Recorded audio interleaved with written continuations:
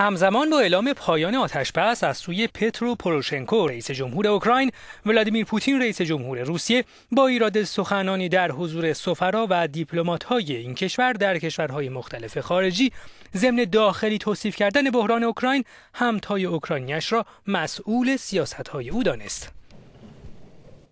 او گفت شما شاهد هستید که زبان، فرهنگ و حقوق مدنی هموطنان روس ما و همچنین مردمانی از دیگر ملیت ها در اوکراین در معرض تهدید است.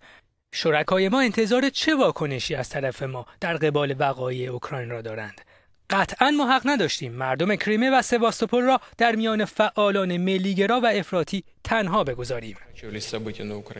رئیس جمهور روسیه همچنین با اشاره به اینکه اروپا مهمترین و طبیعی ترین شریک اقتصادی کشورش است گفت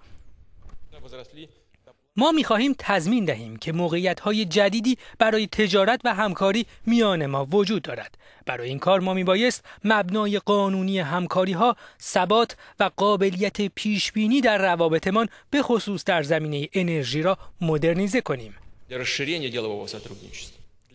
آقای پوتین همچنین با اشاره به اهمیت جهانی ارتباط کشورش با ایالات متحده آمریکا گفت ما آماده گفتگوی سازنده بر مبنای حقوق برابر با آمریکا هستیم.